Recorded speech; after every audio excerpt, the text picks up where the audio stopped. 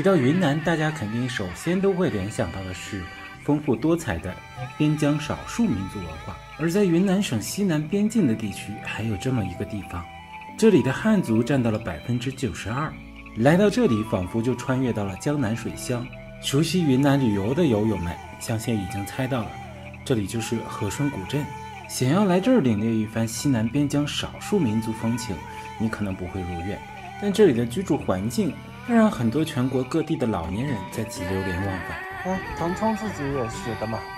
世界健康生活目的地，这边确实不错，没什么工业污染。我在腾冲旅游的几日，不乏会碰到来此观光的浙江人，他们当中的大部分人都是以家庭为单位。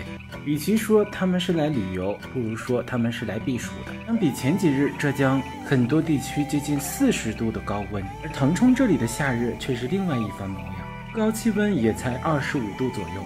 再加上空气中适宜的湿度体感，难怪会有很多老年人选在腾冲养老。这种店也和大理这边都差不多。这个花柱大理也有一个。这个房子我是看不出来和大理那边有啥区别。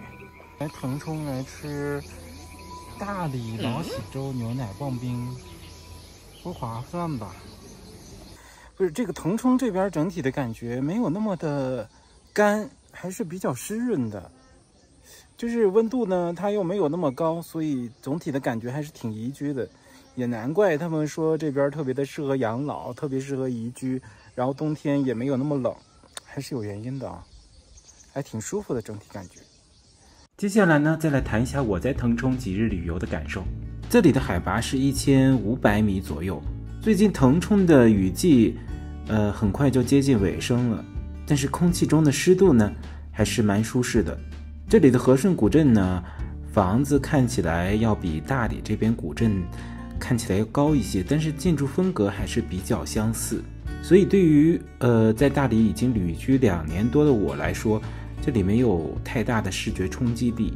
但整体而言呢，和顺古镇还是很安逸的，非常值得一逛。自助购物。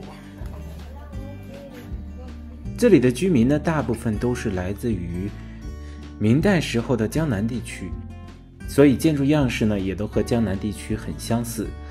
你在和顺古镇中漫步，会有一种穿越到江南古镇的错觉。其他呢，像这边的特色饮食呢，细豆粉儿、饵丝米线，饮食方面呢，也大部分都和大理差不多。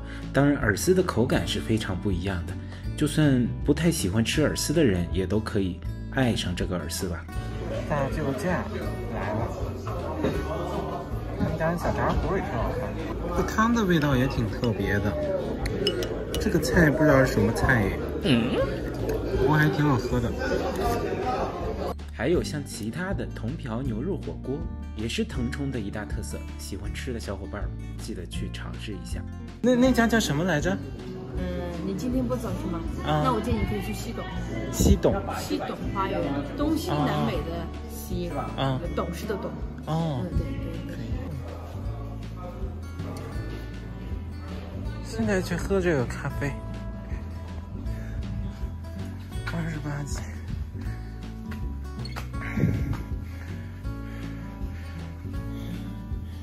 还有。啊。还以为这是民宿。对呀。啊啊啊啊！一 位。一个。一位的。哦，别有洞天呀！这边扫扫码点单啊。好的。自己拿牌，自己找座位。好。嗯，这么。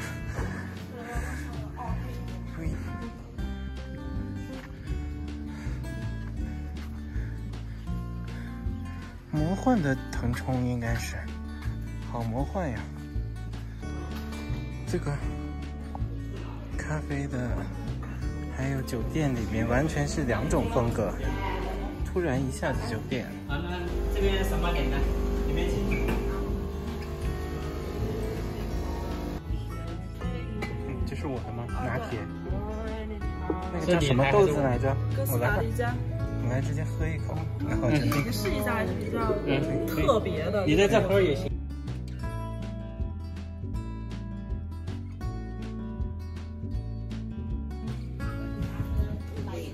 Thank.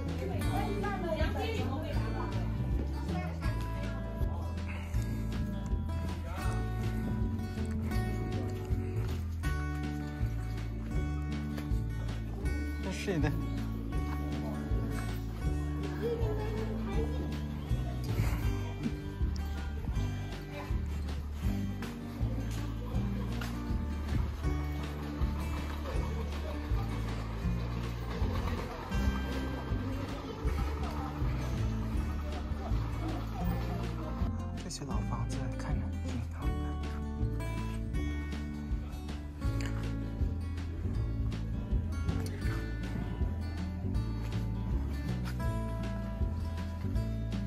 这里面到处都有卖这个的，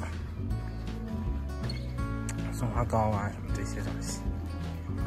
在村里的这块儿吃个松花糕也是好惬意的啊！尝一下这个松花糕。